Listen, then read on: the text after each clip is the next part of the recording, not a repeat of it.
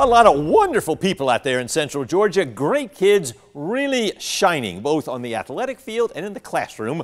Marv introduces us to Warner Robins Jr. Cam Perkins, our athlete of the week.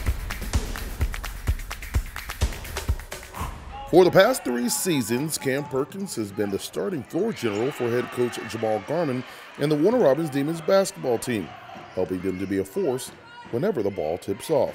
He's one of the guys that we definitely gonna count on to make sure the team is running right, make sure everything is run, done right off the court too. He's one of our leaders in the hallways, uh, outstanding student, and just is the epitome of what a point guard is supposed to be for a team. Uh, he, he is that guy. So.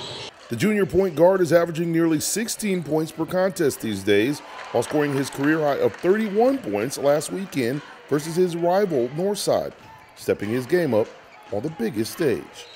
I'm trying to get better at being vocal with my teammates, you know, not just by example, you know, being another voice besides just being a point guard, you know, and another coach, but actually having that voice that my coach has. Off the court, Cam works hard to maintain a 4.0 GPA, a number he says is more important than any average he earns from the game. Because basketball and school, they go hand in hand.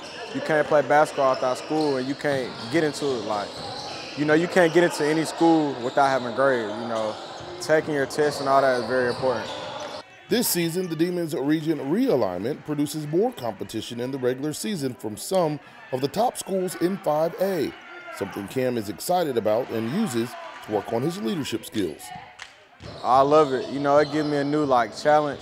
From the last two years, it was an okay region, but this year, you know, we got a bunch of different commits and you know, good teams in our region, so we get to put ourselves up against them every night. And those are just a few things that makes Cam Perkins our athlete of the week. In Warner Robins, Marvin James, 13 WMAZ Sports. And Cam and the Demons finishing up the regular season, back-to-back -back road games tonight and Friday before finishing up the regular season at home Saturday against Cedar Shoals.